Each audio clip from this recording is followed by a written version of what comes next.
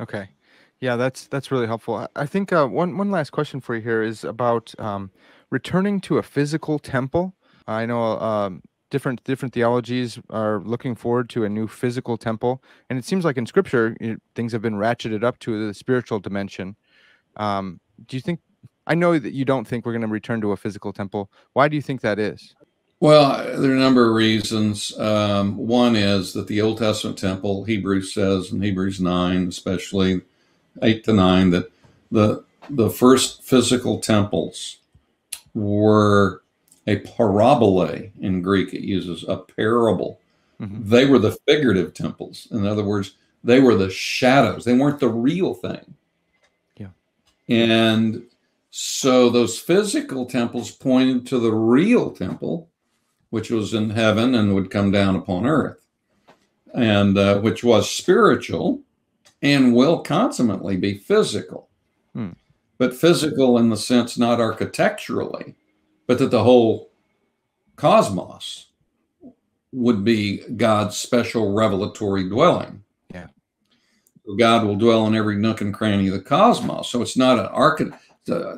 architectural structures can't contain God, as Isaiah 66 says. Right. Who, who, who, can build for me a house that I may dwell in? Nobody.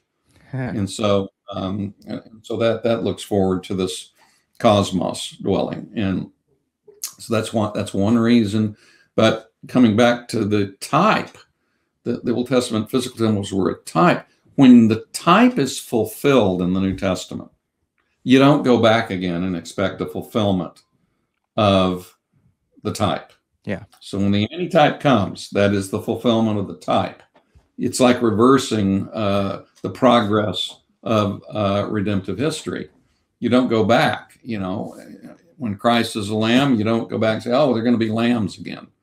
and um, um, he's the ultimate priest. You don't go back to they're going to be priests again. Yeah. Uh, that's why you don't repeat a sacrifice. Okay. All these things, when they're fulfilled, they're done. They're unrepeatable. So that's one reason.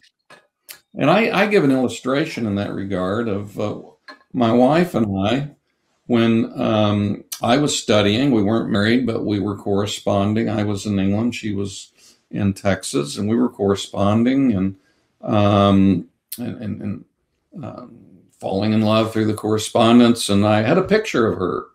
It was with her brother. Yeah. And when I get a letter from her, I, I, would look at her picture. I got so tired of looking at the brother, I cut him out. But um, I looked at her. Who knows? I, I have a friend who hugged the picture uh, of uh, the girl he was writing and, and kissed it. Uh, I may have done that. I don't, I don't remember. Uh-huh. But um, so now we've been married 43 years, got married. And so if I were in our living room and sitting in a chair, and I wouldn't sit next to her, she's in a chair across from me. And if I had that same picture and I was hugging and kissing it, that would be really weird. Yeah. I, I would be reversing the course of marital history at that hmm. point. And uh, I, she, she would say, I need a counselor. She'd probably call her pastor say, My husband needs counseling. He's hugging and kissing this picture, but here I am. Right. Hugging and kissing me. Christ is here. He's the temple. Let's hug and kiss him and not some physical architectural structure.